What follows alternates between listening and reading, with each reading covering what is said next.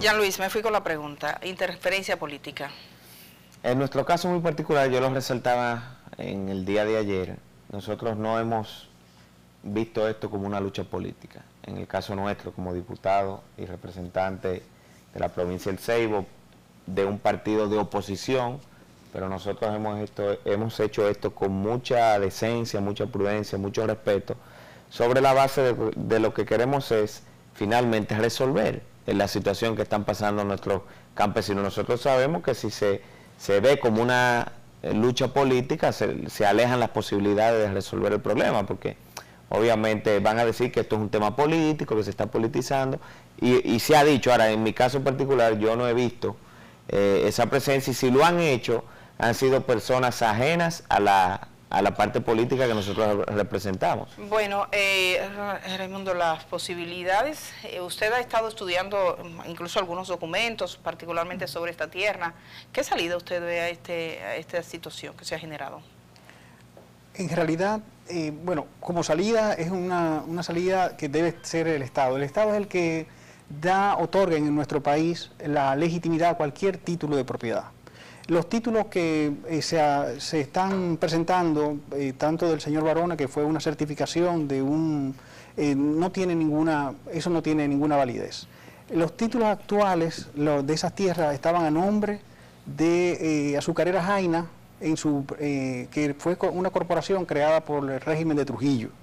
Ese fue el último que tuvo la titularidad, si se quiere, de esa tierra. Azucarera Jaina pasó luego a la Corporación Azucarera Dominicana, que se creó ya en los años 50, al final de los 50, eh, bajo el régimen todavía de Trujillo, y luego pasó ya en el 60 y, 66, eh, creo que es Balaguer, que le da el nombre de Consejo Estatal del Azúcar. Sin embargo, en el transcurso entre la muerte de Trujillo y la, y la, eh, y la llegada de Balaguer también hubo mucho, eh, muchas transferencias de tierra de facto. O sea que ha habido eh, situaciones de hecho que han alterado la situación jurídica, si se quiere, que se había creado con la creación de Azucarera Jaina. Entonces, claro, es posible que el SEA directamente no las haya no las haya eh, usado directamente, aunque estaban a nombre de una de las corporaciones que pasó a ser parte de ella, pero en el transcurso hubo muchas, eh, hay que decir también que eh, Azucarera Jaina para instalarse también hizo desalojos. O sea que eso, eso es también importante. Lamentablemente el tiempo se agotaba. A mí me gustaría otro día conversar con usted un poco más. Raimundo es un historiador reconocido de República Dominicana, conversar un poquito incluso más allá. Y Jean Luis, te agradezco tu presencia aquí, sabemos de los esfuerzos que ha tenido para que esto se solucione. Alguien escribía en el chat y con eso termino, ¿qué trabajo le cuesta al pobre alcanzar justicia? Lo escribe Tami Ramírez. En este país, cuando quieren, compran las tierras y se la dan a ricos.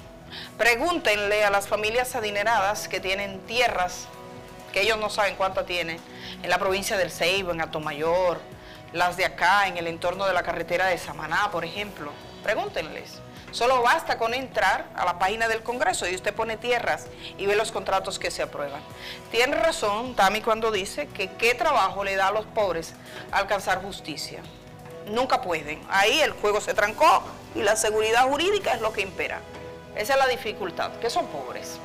Mañana nos encontramos en una nueva entrega de La Cosa Como Es.